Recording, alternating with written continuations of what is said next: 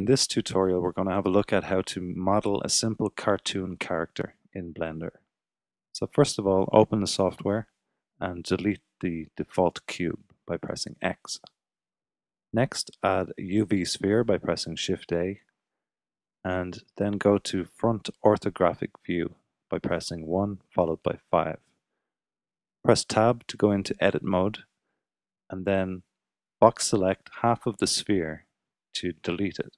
So make sure you're in vertex mode and then press B to enter box select mode and select either the left or the right half and then delete those points so you're left with only half of a sphere.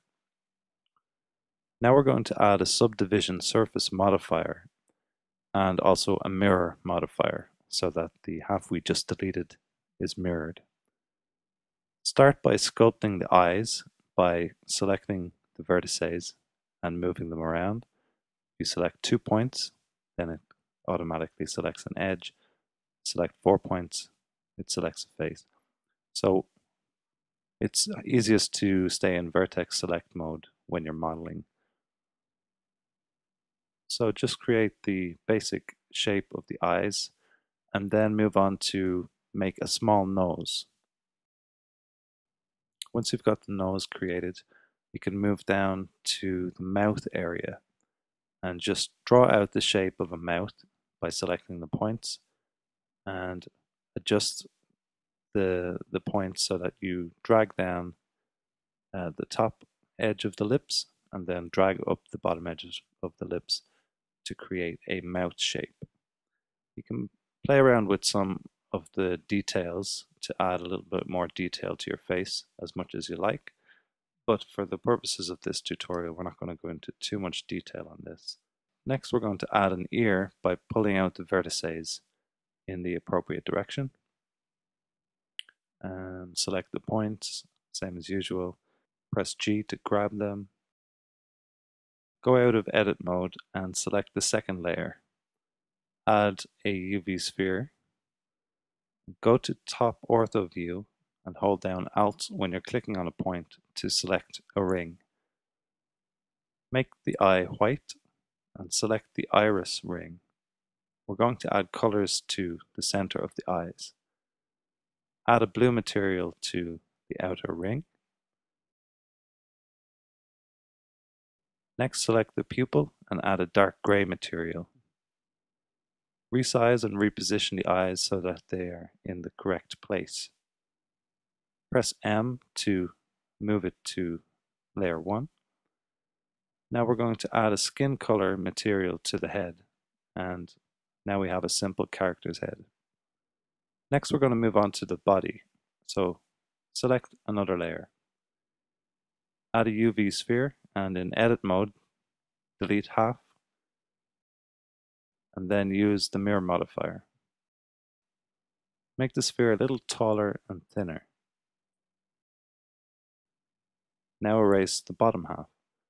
This is where the legs are going to go. Extrude downwards.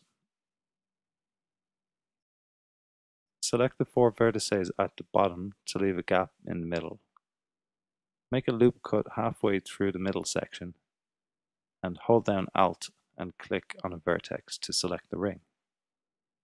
Extrude down to create the character's legs.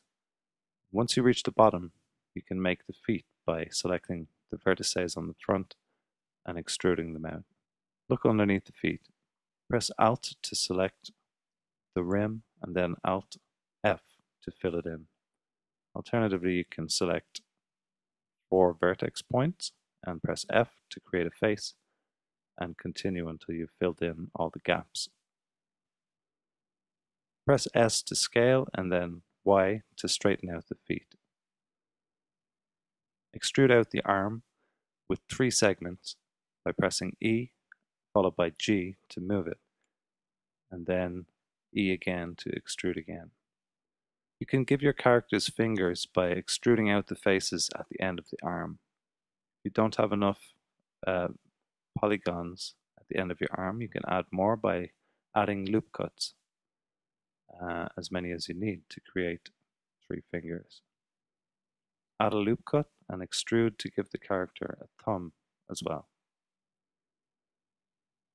Next we're going to add a sur surface modifier to the body and bring the levels up to 2.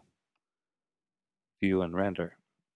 If you go above this, it's going to slow down the whole system. So it's a general rule of thumb, don't go above 2 for either of those values. Select all by pressing A and choose Smooth from the Object toolbar. Press M to move the body back to the first layer and resize it to match the size of the head.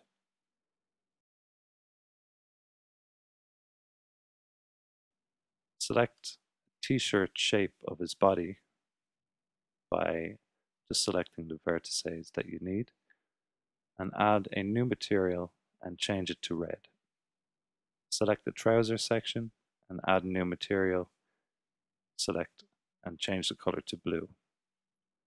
Select the hands, add a new material, and change the color to skin color.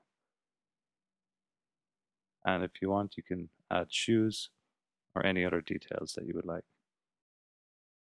At this point, you can add as much more detail as you would like. So for example, we could add a cap to put on the character's head. We could create some eyebrows, um, an earring, we could add a tie to the character's shirt. So this has been a simple tutorial on how to model a character in Blender.